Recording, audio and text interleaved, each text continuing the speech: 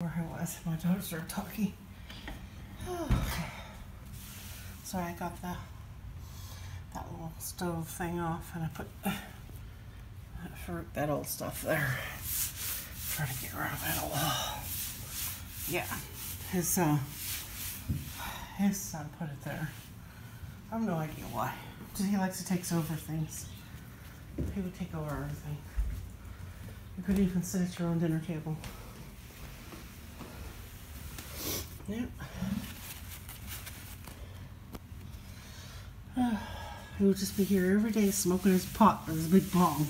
Nothing you know about it. You asked him to please use it outside or your car, right?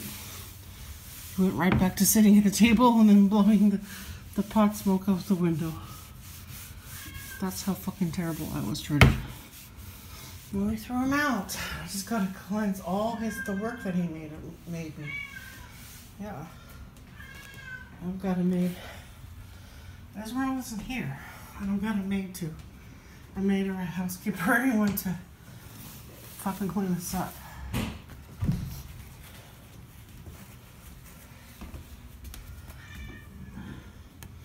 You're gonna be seeing a lot of cleaning videos next few days.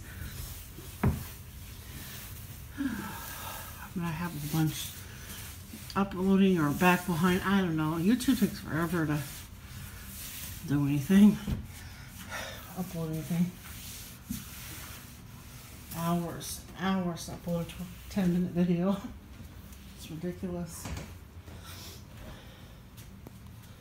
Alright. Take the clothes from the dryer now and go fold them in my room. I'll see you later. Bye bye.